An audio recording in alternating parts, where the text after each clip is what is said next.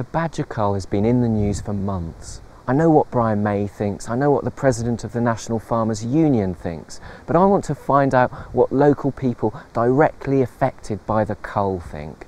So I've come here to West Somerset to find out. This is the West Somerset Cull Zone. Its precise boundaries are a closely guarded secret, but it's a vast area. For six weeks, gunmen are going to have to kill an average of more than 60 badgers each night to hit their target of killing more than 70% of the badgers in this area. But whilst this destruction is occurring, some locals will be doing their best to keep the badgers alive. One Somerset resident invites me to watch the wild badgers in his garden. Like many badger lovers and haters in the region, he is so worried about this controversial cull, he wants to remain anonymous. It's very rare we go an evening without seeing badgers. We enjoy them and they enjoy being fed. Some farmers would be horrified to learn that you're feeding badgers and they'd call you a badger hugger and they'd probably accuse you of destroying their livelihoods. What would you say to them? I say them? they're entitled to their opinion, but I think we're all here on this planet and we should try to get on. If we can't get on, then there's something wrong with their mentality. They've been here in this area a lot longer than people have been here, and uh, I think they've got a right to be here. Another local trying to save badgers is Pauline Kidner, founder of Secret World, the biggest badger hospital in the country. We're expecting that we will get injured badgers from the Cull area. It's, it's only about 15 miles away from where we are. And we have a huge problem knowing how robust the badger is that I think it could possibly be injured rather than killed outright. There probably will be only one thing we, we can do for them, which is to euthanize them and put them out of their suffering. We were dairy farmers ourselves. We had our own TB outbreak. We know what it's like to lose animals. We know the emotional and the financial strain of it. This is going to be wrong for farmers. All that money being spent in the cull should be fast tracking a vaccine for, for cows. Other badger lovers in the cull zone are busy setting traps to vaccinate badgers before the gunmen move in. Uh, Last year I decided to get myself trained up as a lay vaccinator to vaccinate badgers against TB because I genuinely believe, and the science supports it, that by doing that until we get cattle vaccination, uh, it's a responsible thing to do. A lot of the people that I've spoken to are very, very supportive. They almost feel helpless that they don't want it to go ahead. They don't seem to be able to make the government understand, but they want to do something. And we're offering landowners and farmers cut price badger vaccination as a real alternative to culling. Isn't this an exercise in futility to go around vaccinating badgers in an area where they're all being shot by the farmers? It's highly likely that some of the badgers that we do vaccinate this year and some of the badgers we vaccinated last year will be culled. There's a real air of suspicion in West Somerset, and no farmers who are in favour of the badger cull, and that's most of them, will talk on camera about it. But we finally found a farmer who will talk to us on the condition that he remains anonymous.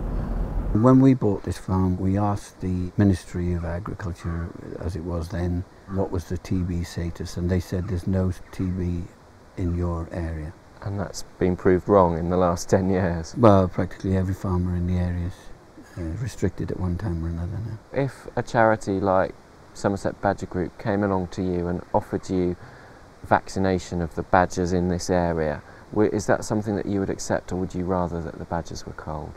If you look at the, the vaccination in Wales, it's an absolute nonsense. It cost two, over two million pounds. That was 660 pound for every single badger. And the situation now is that the, the disease incidence is worse than it was last last year. Are you concerned that the badger cull is going to bring animal activists into West Somerset and there's going to be violence or I'm very worried about that. Yeah. I think I think I think uh, people do worry about it.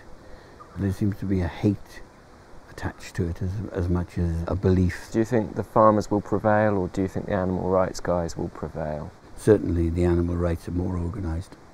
That's quite a criticism of the organisation of farming. Mm. Well, don't forget, as farmers have to work hard. You know, we work seven days a week. We don't really have the time.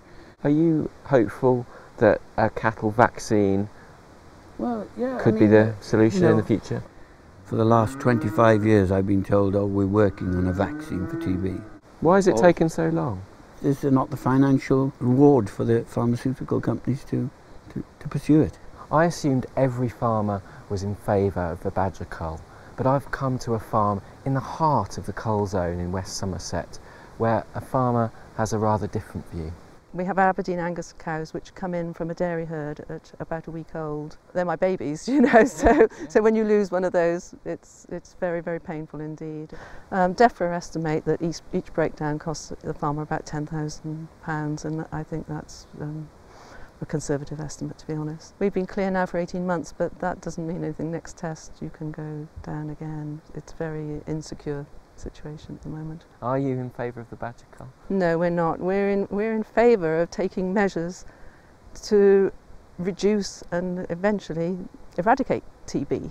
That's what we all want. We want something effective. What methods are you now taking to protect your cattle? Well, we're vaccinating the badgers on this farm. We started last year, which has put us a year ahead of the cull anyway. It was a successful vaccination. We were very pleased. We used night vision cameras to estimate what badgers we got, and we were confident that we had a high percentage of, of catch. In fact, Penny Phillips argues that vaccinating badgers is more responsible than a cull because scientists say that killing badgers creates perturbation, where animals fleeing the cull spread bovine TB to neighbouring farmers' cattle. The only sure thing we know about culling badgers is that there will be people who will go down with TB who wouldn't have otherwise. And that seems extremely unfortunate given that we know the costs involved with a TB breakdown.